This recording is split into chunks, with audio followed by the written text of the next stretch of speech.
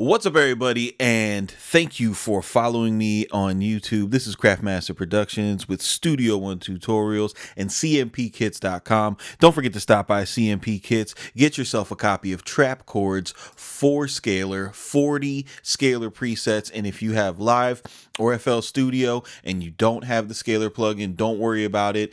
These this product comes with the MIDI files for the trap chords, so it's 40 original unique trap chord progressions in MIDI or for the Scaler format.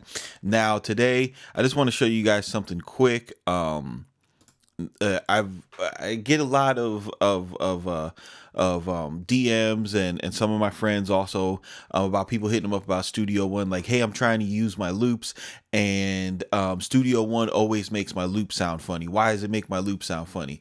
And a lot of the times, what that is, guys, is that Studio One stretching your um your tempo sync loops that have tempo information to the tempo that's going that you have set in your DAW. So what you want to do is you want to make sure that when you open a session, uh, you have this guy clicked off right here, stretch audio files to song tempo, and then that will drag your file into Studio One without stretching it to meet the tempo and then it'll sound the same way that it does inside Finder. So it's a CMP with Craftmaster Productions, Studio1Tutorials.com. You guys keep it simple, but don't be basic, and we will see you on the next one, fam.